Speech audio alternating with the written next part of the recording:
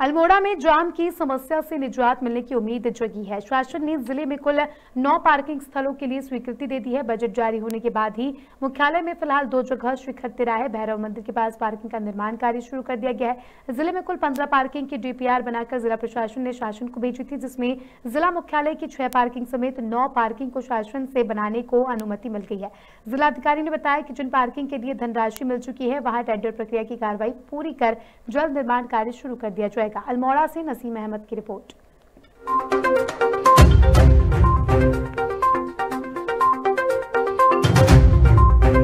अल्मोड़ा शहर में पार्किंग की समस्या बहुत लंबे समय से थी। उसको देखते हुए यहाँ पे आ, हम लोगों ने काफ़ी सारे पार्किंग स्थल चयनित किए थे।